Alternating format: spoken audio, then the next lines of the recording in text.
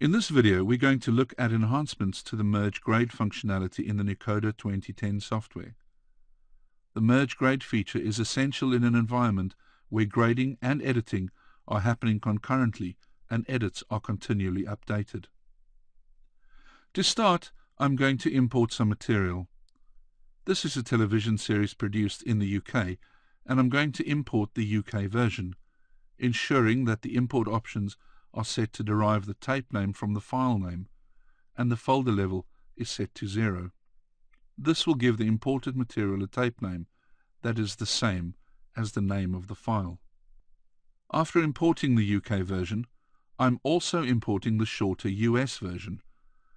What we are doing is a conform, just not from tape or multiple sources, but from one master file-based source. I'm going to load an EDL and place the material on the timeline, exposing the cuts in the sequence. And I'm going to select the UK EDL. I want to create a new composition. My material is in the library, so we can turn on the Conform to Material option and conform to record timecode. This will allow us to automatically map the record timecode in the EDL to the source timecode and correctly conform the material. I'm also going to insert the tape name of the material.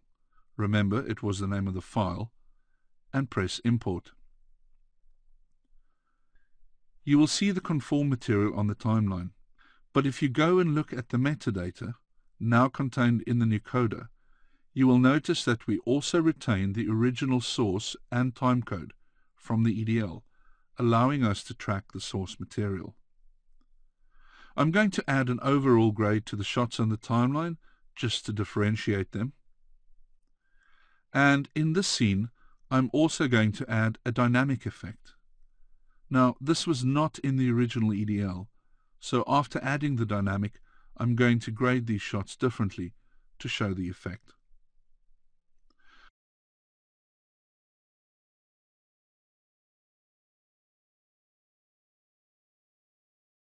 Previously, if you had conformed material into Nucoda from multiple sources, we could track and merge grades based on the source information. Coming from a single master made this impossible. This can now be done.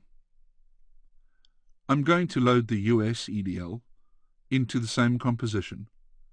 Select the Merge Grade feature and the Match Source Timecode button. Conform to Material, conform to Record Timecode, and insert the tape name. Upon import, you will see the shorter US version at the top and the UK version below. You will notice that the graded shots from the UK version has been copied to the US version and the dynamic that was applied to the UK version has also been added to the US version.